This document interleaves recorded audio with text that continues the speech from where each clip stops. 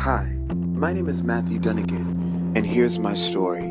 At the tender age of 10 years old, I auditioned for the School for Creative and Performing Arts in Cincinnati, Ohio, and that's where my journey as an actor began. Although I love to sing and I love poetry and spoken word, I always found my niche to be acting. There was nothing like acting for me.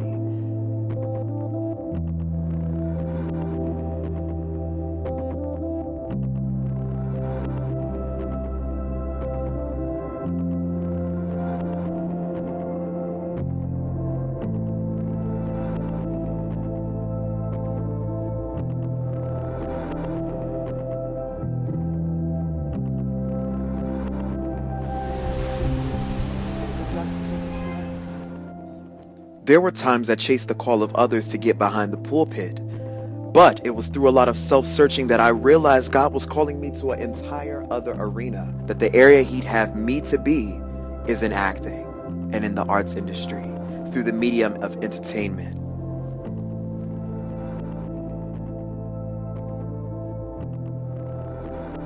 I find acting to be my medium of ministry because through it, I'm able to tap into the emotions and the heart and the desires and the zeals and the passions of the characters that I portray. And through it, I find myself to be a mirror for my audience. My mama ain't had two dimes to rub together and ain't had but one stick. She got to do without the fire. Some kind of warmth in her life. I don't want to live in a cold world. At least let me have a little shelter.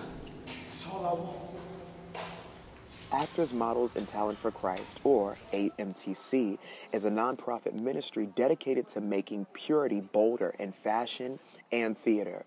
Their staff holds auditions all over America to find, prepare, and launch performers into the world's most influential mission field entertainment.